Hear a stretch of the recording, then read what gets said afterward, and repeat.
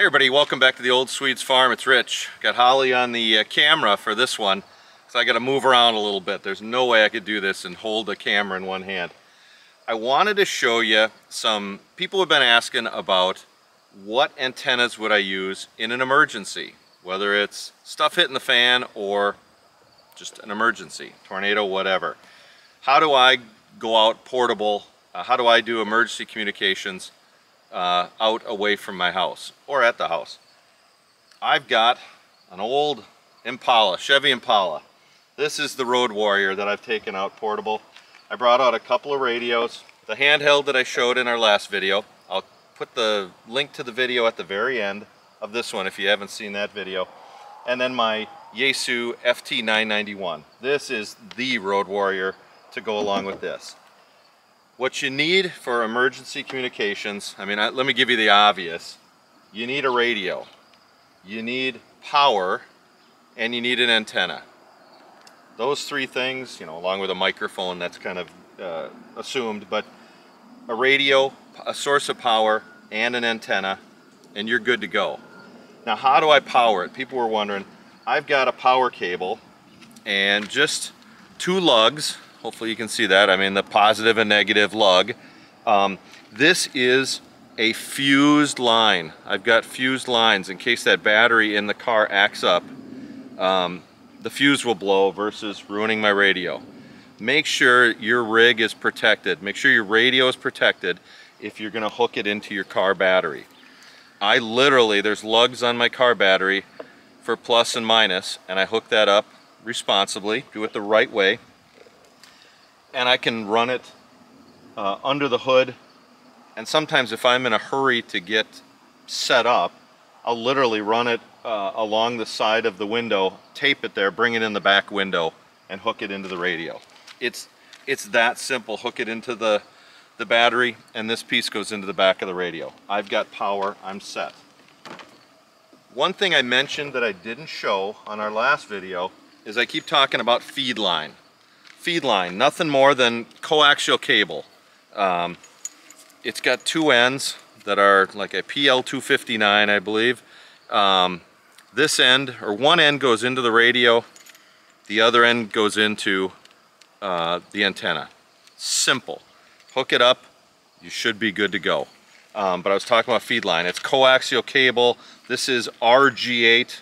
Uh, actually, this is RG8U, but uh, you're looking for RG8. Um, don't get the real, real cheap stuff. You're gonna lose a lot of your signal uh, between the radio and the antenna. Get some good RG8 um, cable. It's 50 ohm cable. Hopefully that'll make sense, but if you're seeing things, if it's a 75 or whatever, use 50 ohm RG8 cable. Now they come in different lengths. You can get them at uh, DX Engineering. You can get them at many spots, um, but a good set of uh, RG8 with PL259s on the end already installed. I buy them already installed. One end goes into the radio, one end goes into the antenna. I'm good to go. When I operate, I, this is not on the hood obviously, although I could operate out here with a chair and a table. It's usually on the dash and I'm mobile. I want to show you a couple other things for setting up antennas, some things that I've done.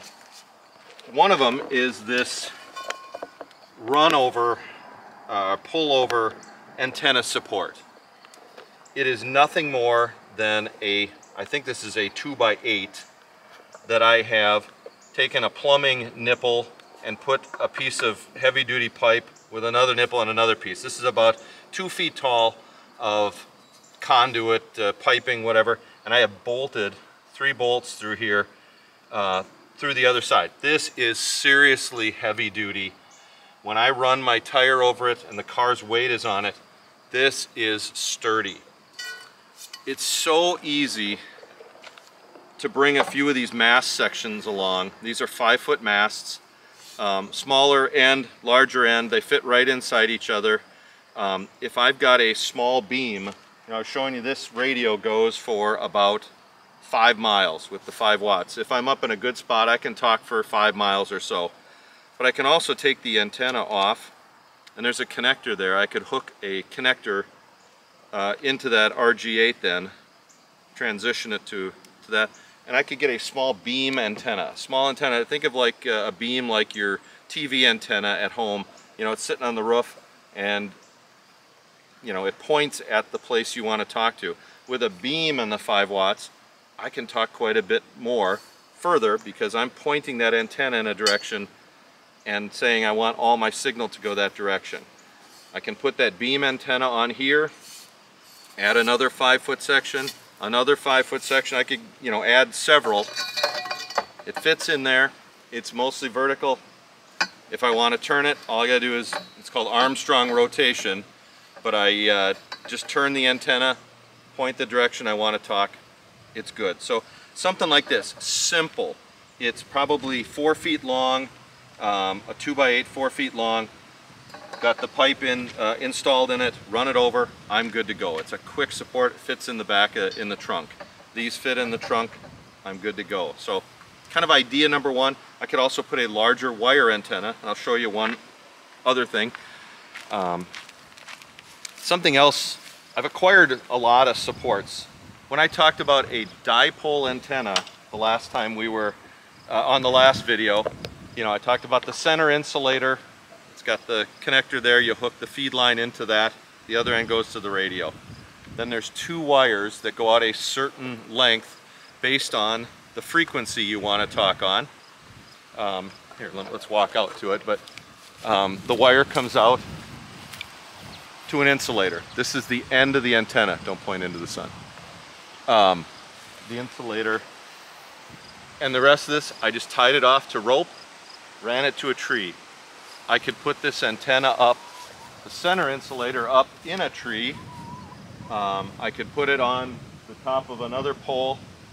I've got a fiberglass mast. This is a, a fiberglass uh, center mast that uh, all I can do is open up one piece, slide it up in the air, lock it into place. There's many pieces that go up. This goes 40 feet in the air. Um, and I've got some ropes on it so then I can tie it off in four directions and secure it. I've literally got a piece of rebar pounded into the ground. This is just for temporary obviously, but a piece of rebar in the ground, um, pounded in about a foot, and uh, it's, it's electrical tape to it. That's how simple it could be. Um, this is very, very temporary. But could I put that wire antenna on there, hook the feed line, and then hoist this in the air, tie it off? You bet. Um, this is probably not something I could take portable. Um, I could, but it would become semi-permanent. So if you can find something heavy-duty fiberglass, deployable, this thing is probably I don't know, eight feet tall total. I can fit it in my car um, the long way and uh, I can bring it. Or if you had a truck, it's easy. If you can find something like that, piece of cake, but to get a dipole antenna, and I could bring many of them up, many of them with me, and depending on the time of day and the frequency I wanted to be on, I could bring this down, put the next antenna on, deploy it, um, or you could skip this, bring some ropes, throw the center insulator in a tree, have the ropes on the other pieces and send them off to other trees. So simple wire antenna. This rolls up into a tiny roll. It's probably two pounds.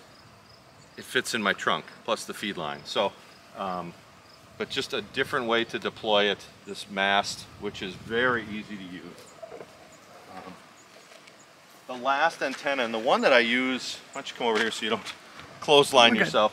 Um, the one that I use the most, and I showed this off um, when I was talking on the last video, is the three magnet uh, base. It's an MFJ 336T. Um, it's got some protection on the bottom to keep from scratching the top of your car. One thing I'll say is these magnets are strong. When you're putting it down, watch where your fingers are you can pinch your finger pretty darn good and have a good blood, uh, blood blister.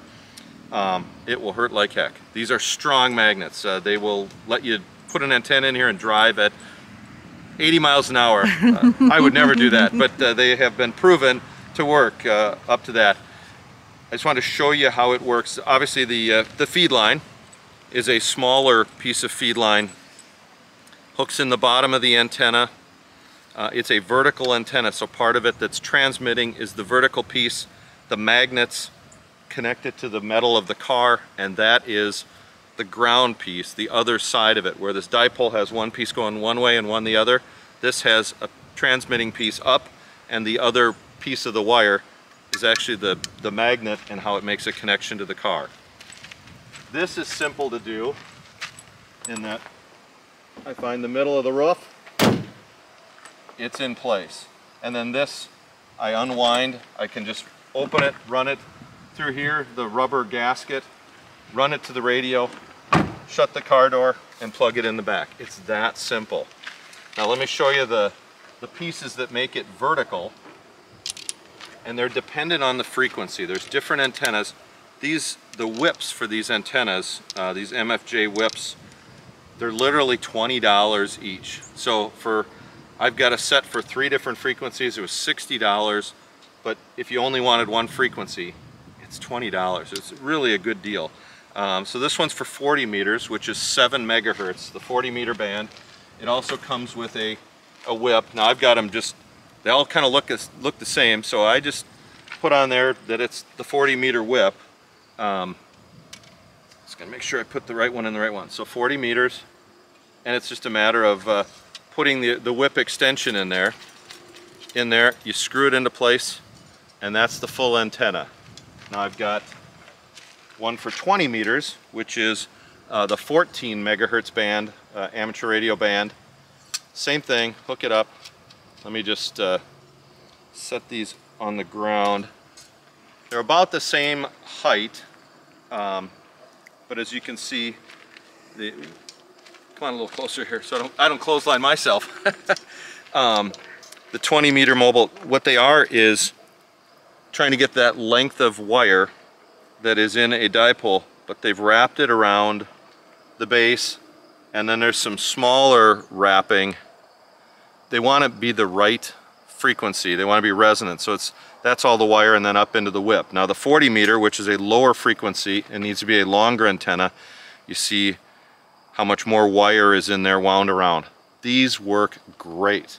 Uh, let me just put the, uh, show you how easy it is to install one. You know, I've got the mag mount up there. If I wanted to change frequency, I just climb up on the, climb up on the car, screw the whip into the base, and I'm ready to go. Um, it's that simple. If I wanted to change frequencies down to 40 meters, I would unscrew that, put this one in, and I'm good to go. Um, it's that simple. Do these work? I have used this mobile. There's a Minnesota, I'm a, I'm a contester, I'm a ham radio contester. There's weekend events where you try to contact as many people as possible uh, there's different competitions. One of them is the Minnesota competition in February, and other people are trying to talk to Minnesota counties, and their score is the number of contacts they make times the number of counties. So I've gone out mobile and operated from like 30 different counties uh, in one of the contests. Come on on the other side of this wire so you don't get... Um, the contest is 10 hours long, and I've used that radio on the dash from about 30 counties over a 10 hour period with this antenna, with these antennas, and over a 10 hour period, one, one weekend or one 10 hour period, I made over 1,500 contacts in 10 hours. Do these work? Yes, they really do. These are gangbuster mobile antennas. Um, now with that base and the, the long wire dipole, I can't be out mobile with this, where I have to run it over, I can't be out mobile. Can I go from point to point and set up? Yes. Um, if there were truly an emergency and I needed to communicate while being on the road, this is what I would take. My FT991 right into the battery. Um, I would bring these whip antennas. I've got three of them. Um, I have one for uh, 80 meters, which is 3.5 megahertz. I've got one for 40 meters, 7 megahertz, and I've got one for 20 meters, which is 14 megahertz. I'm also considering getting one for 21 megahertz and 28 megahertz. Um, but with these three antennas, 80, 40, and 20 meters, I can talk around my state, around the region, around the country, around the world. And I will do a video about different frequencies and propagation, uh, how radio works, how it bounces, how it works to talk to different regions. But I wanted to show you these mobile antennas, and there's a myriad of antennas you can have. There's some fit on your bumper, all that. These things, this has been road tested um, in many, many, actually I've operated in North Dakota, the North Dakota contest, South Dakota, Nebraska, Iowa, Wisconsin, Colorado. uh, Colorado. I've used these antennas and made thousands of contacts over a 10 or 12 hour period. They work. So these little whip antennas. Um, I hope this made sense. There, there are a lot of antennas you could you could take out, build, and operate from anywhere in an emergency situation. What I'm going to tell you again, uh, people have said you don't really need your license to get on the air. In an emergency, you know, we'll just turn on our radio and we'll be able to do it. According to the law, yes. If there's an emergency situation, you can take that radio that you've bought, you can plug it in and key that microphone and talk to whoever you want to. What I'm saying is get your license. If you if the first time that you key up that radio and your first bit of experience is keying it up in an emergency, I feel like you're going to be sadly uh, disappointed in your results. You're not going to know propagation. You're not going to know how to operate or etiquette, ham radio etiquette. You're not going to have tested your antennas. I don't think you are unless you're going to get on and kind of bootleg a little bit. No one's going to talk to you because you won't have a call sign. But I would encourage you to think about getting your license. It's not that hard. Then get your radio, get your antennas. If you're serious about emergency communications, test your antennas. Make sure I know these work. I have made thousands of contacts with them. Um, I know how to deploy this. I could get my radio, I could get it hooked into the battery, get the antennas out, and be on the road probably in a half an hour, uh, and have sandwiches and pop packed in the cooler and whatever. I, I, would have my stuff. I know how to deploy it into uh, my cases, get everything going. I would urge you to get your license. It's not that hard. So you can get your supplies together. You can test them, find out about ham radio etiquette, find out about propagation, learn how everything works so you're not turning it on for the first time when maybe your life depends on it and you don't know how the buttons work or something like that. So there's my soapbox on that. If you get questions on other antennas, if you think I missed something, let me know. Um, trying to do these uh, kind of stuff hits the fan videos or emergency situation videos because uh, I've had a lot of requests for them. Um, I will link at the end of this the first video I did just about stuff hitting the fan and an overall on, on ham radio. I'm also going to put together a playlist, an amateur radio playlist on my channel if you want to watch all the ham radio uh, videos. Um, but I have some others in the works as well, talking about propagation and how the signals bounce, etc. I'm doing a Minnesota goodbye where you say, you keep talking, talking. Sorry about that. Uh, if you got uh, other ideas for, for videos, let me know. If you like this video, give it the thumbs up. I'd appreciate that. Uh, share it with others who might uh, be interested in emergency communications um, or ham radio themselves. If you got a question about ham radio, drop me a note. Love to help you get your ticket. So thanks for watching and we'll see you on the next one. Take care everybody.